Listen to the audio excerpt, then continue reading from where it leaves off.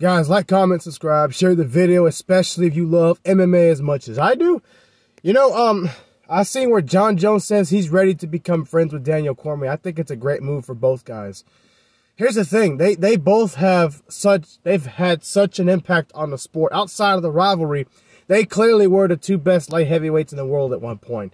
You know, I know Jon was better than Cormier, but I think Jon Jones would even admit and say, "Hey, if I had to avoid fighting somebody for the first time in three years, I wouldn't fight Daniel Cormier because Cormier is a guy that could beat me because he knows me very well. And it might not be my best performance, especially Cormier. If he was fighting, he's active. I wouldn't want to mess with a guy like that after three years. Not to say he won't fight him if the money's right or anything like that, but you'd rather have a warm up fight or a guy uh, stylistically more beatable, if that makes sense. I think there's a lot of respect between those two. I don't see why they can't be friends. I really don't see why. You know, they made a lot of money together. They headlines and pay-per-views. They're both legends of the game. Both guys that no regular guy would want to put their hands on or disrespect. you know, so I think they should become friends. You know, I do think even without the steroid controversy, here's the thing. I'm not, in my last video, I did say Jon Jones is not a cheater. I'm willing to say he's not a cheater because the the MMA and and football and a lot of sports you do use performance enhancing drugs. That's just what it is. All right. So if he did, the chances are a lot of them did too.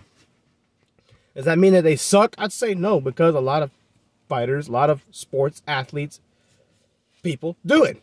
That's what it is. That's why they're so darn big and strong and fast and perform so well.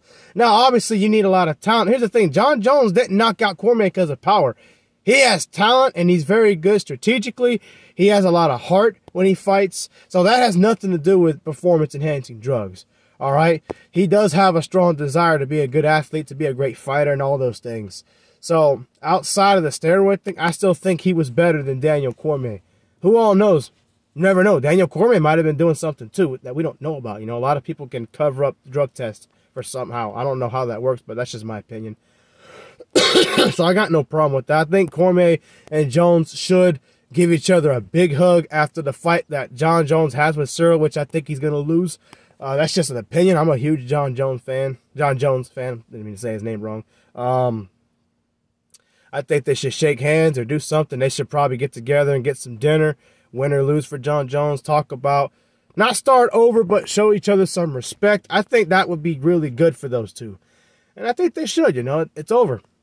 You know, both legends, both great. One was better than the other, but both guys that command so much respect in MMA. And really, to be honest with you, in 2014, 2015, I was going through some hard times. You know what put a smile on my face and kept me alive and wanted to find finer things in life? Those two fighting. They're entertaining. The trash talk they had, the good fights they had. Yeah, much respect to both guys, man.